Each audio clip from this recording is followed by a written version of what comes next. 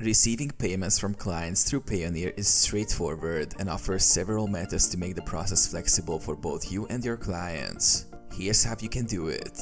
Log into your Payoneer account. Visit the Payoneer website and log in with your credentials. Go to the Receive section. On your account dashboard, click on the Receive tab to see different payment options. Choose a payment method.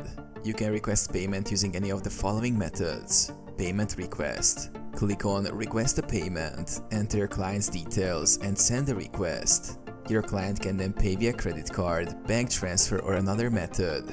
Global Payment Service. If your client wants to send money via a bank transfer, provide them with the local receiving account details from the Global Payment Service section. Send your Payoneer details to the client. If you use the Global Payment Service, share the corresponding Payoneer bank account details with your client for them to initiate the transfer.